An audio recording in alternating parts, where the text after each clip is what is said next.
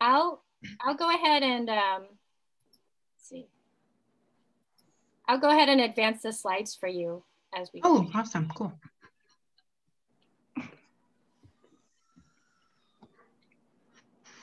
Okay, so I just came today, I guess, to give you guys kind of a little overview of what I do as a nurse. I know there's so many different things that you can do as the nurse. There's like endless possibilities and opportunities. Um, I've done floor nursing and done bedside nursing, but unfortunately I had a back injury. So I went ahead and looked into something where I could actually do like more of an office setting and not so much lifting, turning, pushing, pulling. So I went into case management and nursing. um, most recently, my role is uh, working in the hospital setting as an inpatient case manager, um, which a lot of people probably don't even know exists in the hospital. But um, as soon as somebody is admitted to the hospital, um, the case manager um, gets a list, which is called the census every day. And we know who's in the hospital for what and who, what doctor's seen them. Um, we look at everything that's going on, all the diagnosis. We have to do what's called um, daily reviews and make sure that there's they have a diagnosis that meets what's called the guideline to be in the hospital because insurance companies are very strict with um, should you be in the hospital setting because it's very expensive or should you be discharged and released and maybe to like home health or something like that. So my job is to make sure that all that those criterias are met and that you're in and discharged on time which what we call a goal length of stay. Every diagnosis has a goal length of stay. So if it's going longer than it should, then my job is to talk to the doctors and the specialists and kind of see what's the hang up and what's keeping you in the hospital. Of course, you don't want to be in the hospital longer than you should anyway, because there's a lot of germs. So you might get something that you didn't start with. Mm. So every day I come in, I look at the census, I get a list of all the patients that are in the hospital every day. And then we go to what is called, um, it's a big meeting in a big conference room with all the nurses, uh, one nurse from each floor with every charge nurse. And then the medical director of the hospital is there as well, as uh, well as the director of case management. So there's a lot of bosses in the room. And each patient I must present to my boss and the director of the hospital. And then the health plan usually calls in and they give a case manager from their side as well. And we all kind of have a huddle and we discuss the patient and we make sure we're all on the same page of why the patient's there, how long they've been there, and kind of give our um, report of what we're doing to get them discharged in a timely manner. And then I, um, after that, I go see the patients I go talk to the family and I kind of get an idea of the family dynamic, where they live, who takes care of them, um, what are their barriers that's causing them to end up in the hospital because some people come back a lot. We call them frequent flyers. Um, some people you see once a week, the same person. Um, maybe they don't have a caregiver. Maybe they don't understand their medication. Maybe they don't go to doctor's appointments, those kind of things. So, my job is to find those um, situations and kind of try to find the answer, which is a lot of problem solving. Because if they come next week, then the medical director says, Hey, Tanea, what happened last week? So I have a lot of answering to do if you come back. So um, my job is really just to make sure that we figure out what are the barriers and keep you out of the hospital at home, healthy and safe, and get you what you need, whether it be a walker, a wheelchair, a nurse at home, those kind of things. So it's a lot of responsibility. A lot of people don't think case managers are nurses, but it's a lot of it's a lot of nursing and a lot of problem solving and a lot of pressure. A lot of people skills too. Yes, you have to be able to walk into a room of complete strangers every day. And you know, they're scared, their mom or their sister, their child, somebody is sick. So you have to take all that into a, you know, account that they might be angry, scared, nervous, and they have a lot of questions.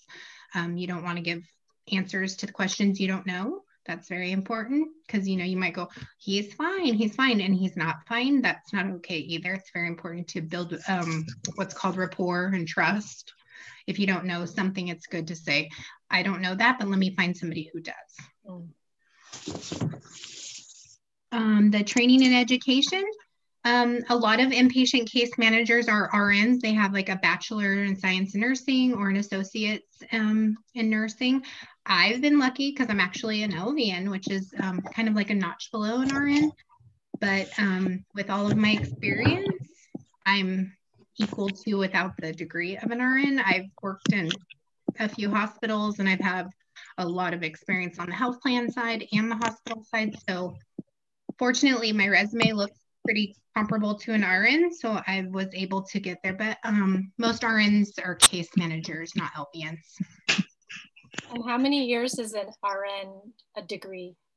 Um, I believe you can go to like, you know, somewhere like nearby, like Irvine, they have a Stanbridge, which is like a school where you can just focus on your RN. Um, and I believe you can do that in about a year, year and a half. Um, and then I think after you finish the RN program, you just get your RN. And if you want your associates, then you do like another five months online.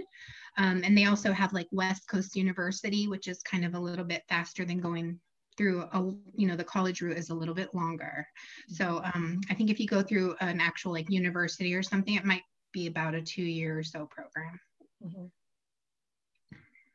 Um, so salary range for nurses um, for an RN case manager in California is about 90,000, um, which is equivalent to about $43 an hour, which, you know, you're not, not going to be rich, but it's, it's good. Um, if you live in Orange County, it's a little expensive to live in Orange County. So you, it's a good thing. You could raise a family and live out in Orange County comfortably um, if you decided to be in case manager. It's a good career. I bet my suggestion is no one should be a nurse for the money because it's something that you need to do because you have passion, compassion for people. Um, why I like this job. Well, I like to help people.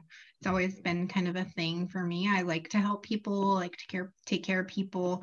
I worry about people even when it's not my time to worry about people. So it's really good if you like to help people and you like different people. Um, you're always learning, especially in this career. Every day you learn something new. Uh, you don't walk in any days and it's the same thing as yesterday because you don't know what kind of patient you're going to get. You don't know what kind of family dynamics you're going to get or what the discharge plan.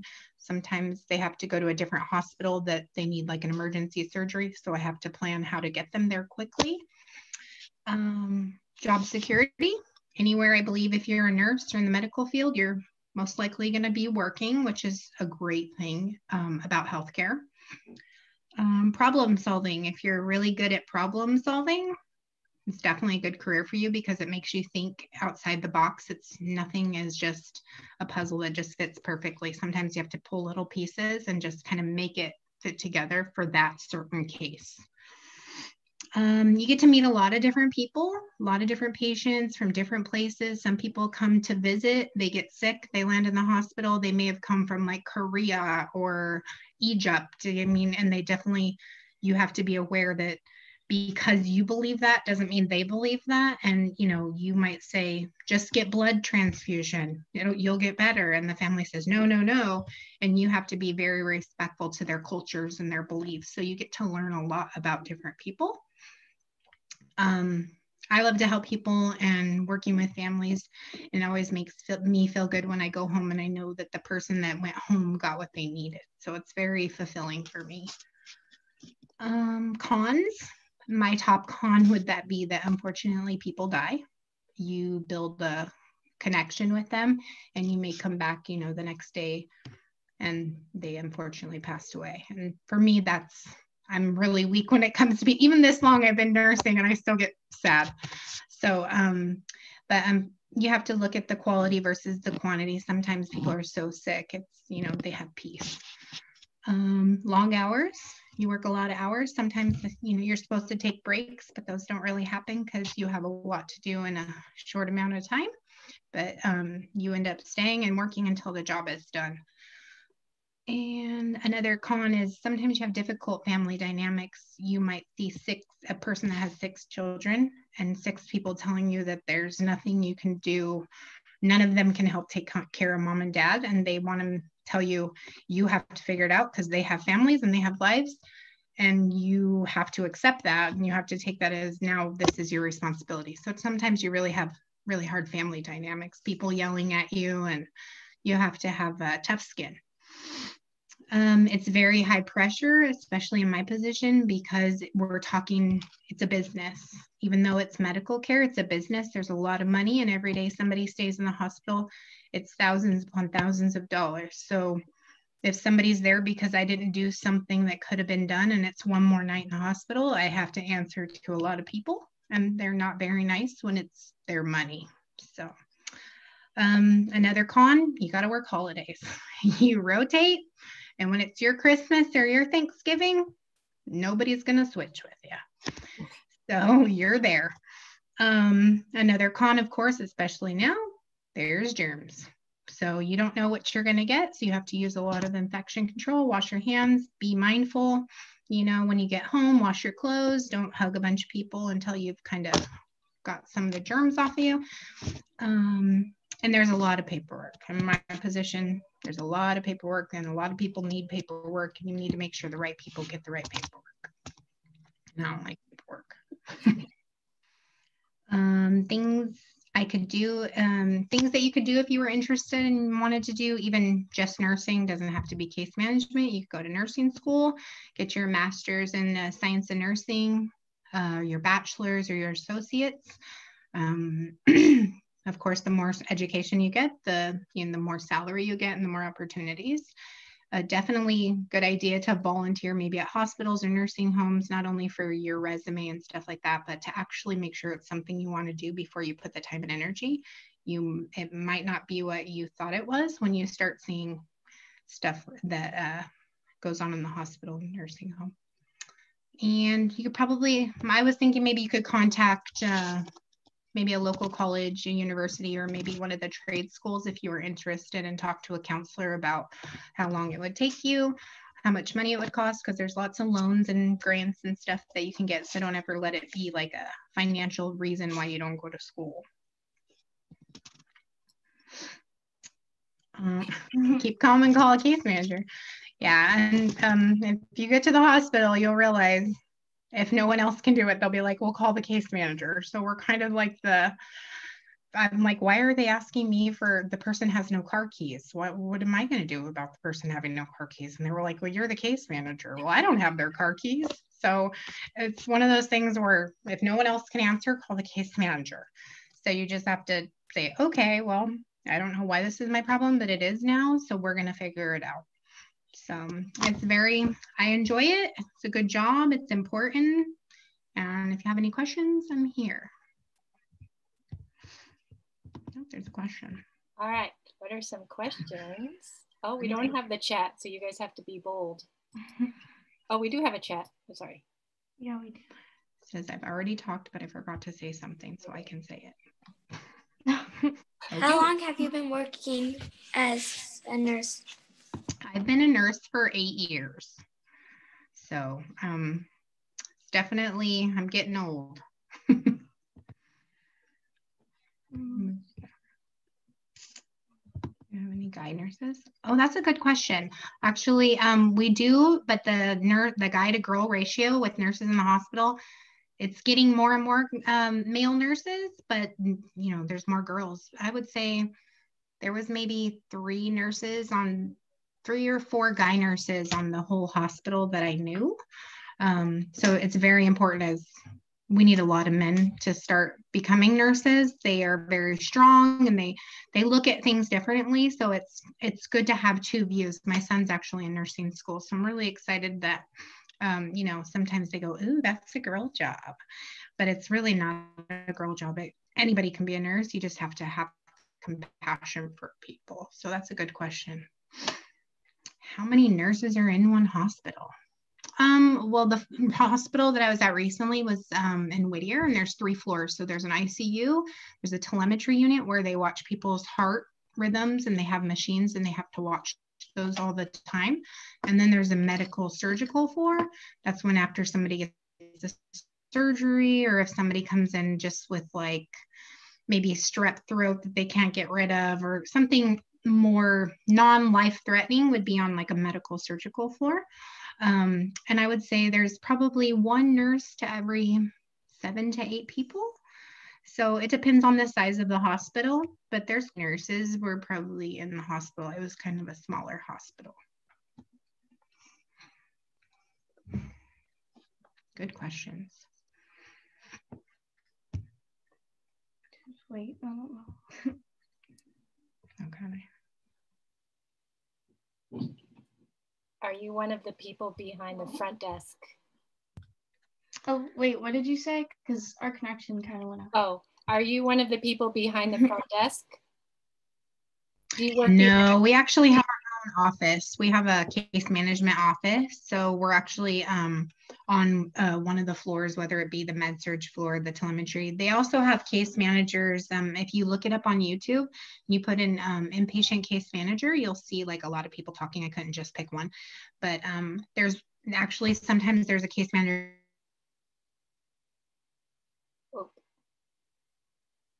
they're just assigned to the emergency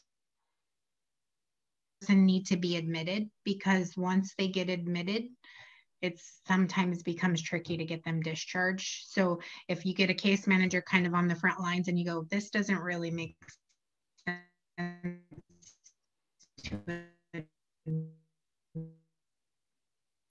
oh you're kind of freezing a little bit I think your connection is a little bit. It was good, at least almost to the end. Oh, yeah. Yeah. How about two more questions? Can you see the chat thing? If anyone types it. Oh, they type it. Or they can unmute and say it. Okay. Anybody have any more questions? Mm maybe. I guess my my question is I feel like nursing is so hard. Like I think being a case manager, at least you don't have to do all the lifting and patient care. Would you say you would prefer being a case manager to just being like a floor nurse? Well, I've been a floor nurse as well. Uh-oh. So I've kind of experienced both, and like you said, it's very physically demanding part. Um, you know it's it's a lot and then you you know they say in nursing if you don't if you didn't document it it doesn't happen so everything you do you also have to write down that you did it so you know if you turned a person to the left you need to write down on a piece of paper that you know at 10 o'clock you turn that person to the left so the next knows um, it's very important everything that you do that you document because if something comes out God forbid something happens to that patient later, they, you know, you need to know what exactly happened.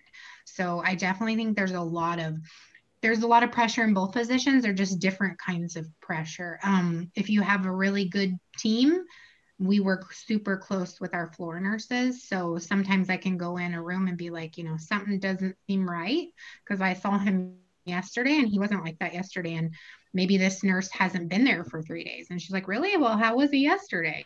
you know so it's really just a good team of people and it's important that everybody kind of gets along and helps each other out if you have any conflict between team players it makes it very difficult so I mean, we work with hospice groups come in, we work with skilled nursing facility liaisons that come in. There's so many different um, people that we work with um, at different hospitals. Everybody just, you know, I always say you get more with sugar than you do with salt. You really need to be nice to everyone. Mm-hmm. Because that might be that person that, you know, in the middle of the night or something, you need to transfer that patient. And they might be like, hmm, remember that one time when you weren't very nice to me? so it's really important that you communicate and you're really good. I think, I think uh, floor nursing is definitely uh, more physically demanding, whereas case management is very mentally demanding because your brain is really tired when you get home mm-hmm. from all the problem solving. I have, I actually have one more question. Um, okay. So I, Miss Kahan has all the questions. I have a, uh, I got my, I, I got an echocardiogram done yesterday, and mm-hmm. my uh, person who, that the medical technologist who was doing that was telling me that these technician jobs are great jobs. And she was telling me she makes $150,000 and she's actually been working for 20 years so i'm sure it's a lot of years oh okay. would you agree that these technologist jobs are also good careers to look into? And if so yeah because i mean and i know a lot of the are there particular ones that you're like these are good ones to check out or not really? Yeah definitely. I think um and I think a lot of problem right now with like getting these jobs and going into these careers hopefully you guys have a long time before you have to go into college and stuff like that. But um is it's getting kind of what they call flooded. Like everybody's like ooh let's make a lot of money. I'm going to go to nursing school. So a lot of the schools are getting really flooded and you know they'll say well you have to have these um, prerequisites or you know the technology school. My sister's trying to become an ultrasound technician and she's in las vegas and it's like a five year wait list to like you know she has to take all these classes and then wait five years to hopefully get into the school for the technical part. Oh, so those are kind of i mean that lady's been in there for 20 20 years. Mm-hmm. you know she probably has some sort of degree of some sort to make that kind of money. I you know it's a very serious job if you're reading echocardiograms and you know it's you you're saying is this person okay to go home or is this person not? So it's very serious you know, I think sometimes people, especially younger ones, you just say, oh, I want to do that. I've come to make that much money. But these are people's lives in your hands. And um, like I said, the stress and bringing it home to your family, sometimes you got to think, do I want to do that every day? And they have something that's called nurse burnout. And a lot of nurses, even though they're young, if they've already been doing, being a nurse since they started, they could be three, four years, I'm meeting nurses. Right now, I'm at CVS doing uh, vaccinations and like COVID testing. And um, the nurse has only been a nurse for like three years and she already doesn't want to be on the floor anymore because she's already burned out because they work so hard, so many patients. Um, so you have to really think is that something that you're going to want to do long, long term? Mm-hmm. So that's where it's good that there's a lot of there's a lot of office positions. You can work in a chemo infusion center. You can all do so many different things where you don't actually have to be on the floor. So if you think, well, I don't want to see people with blood and stuff like that, you don't have to. There's so many other jobs. So I would definitely say look into it if the world's going to need a lot of nurses, but you have to do your, you know, schoolwork. So be prepared.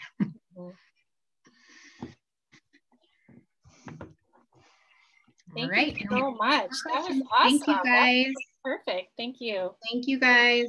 I'll let uh, the high schoolers, you guys can go. You want to say thank you to Bella's mom? Uh, thank you. Thank you, guys. Thank you. And then the middle schoolers, you guys can hang here for now.